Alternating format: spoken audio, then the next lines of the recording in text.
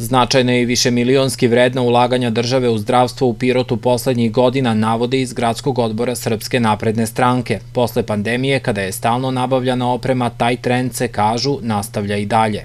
Opšta bolnica Pirot uskoro treba da dobije magnetnu rezonancu i digitalni mamograf. Trenutno se vrše građevinski radovi i adaptacija prostora za prijem pomenute opreme.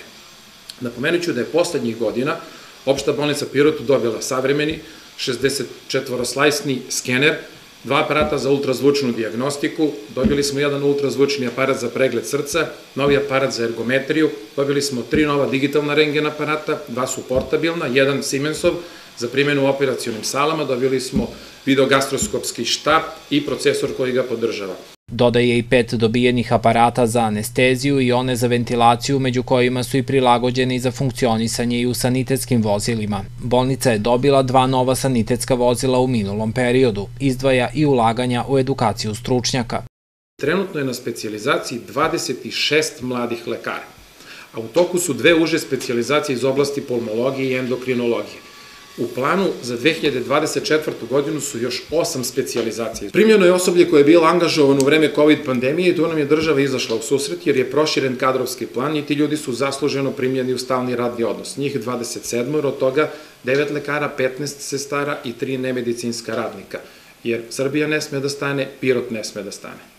U poslednjih 10 godina, navodi Stojanović, zaposleno je 68 lekara i 109 medicinskih tehničara. Bolnica ima 705 zaposlenih i taj broj se menja na dnevnom nivou, dodaje Stojanović. Kaže da je u toku konkurs za prijem dva lekara u stalni radni odnos, a juče je, dodaje, počela da radi još jedna medicinska sestra na odeljenju hirurgije. Iz SNS-a komentarišu i nedavne navode opozicije o apotekarskoj ustanovi Pirot.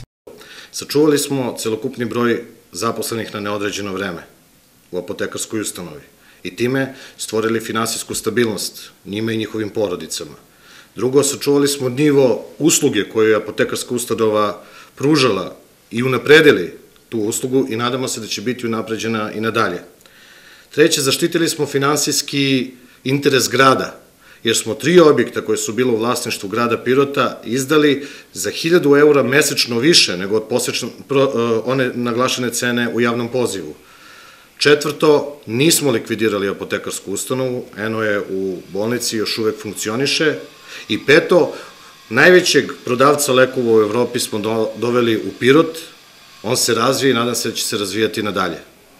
Sad pitam ja one koji su koristili negativan kontekst reči prema rešavanju problema u apotekarskoj ustanovi, šta smo trebali da radimo? Da li smo trebali da ostavimo apotekarsku ustanovu u onom stanju i da 30 miliona godišnje nagomilavamo dug, da kasnije ceo taj dug legne na teret grada Pirota, da apotekarsku ustanovu likvidiramo, a da ti ljudi ostanu bez posla.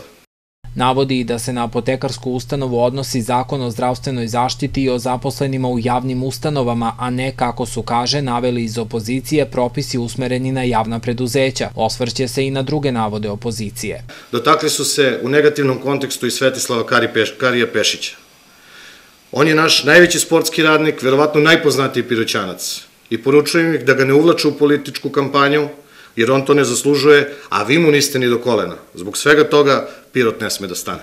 Osvrćući se na rešavanje problema u apotekarskoj ustanovi, zaključuje da se grad prema tome odnosio odgovorno i proaktivno.